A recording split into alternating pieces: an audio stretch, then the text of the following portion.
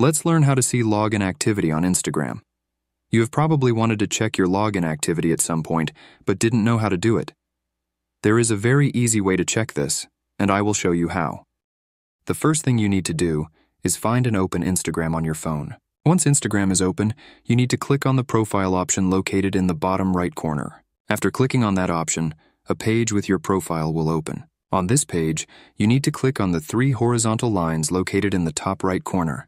When you click on those three lines, a page with many options will open. You need to click on the option at the top, which is the Account Center. After clicking on the Account Center, a page with more options will open.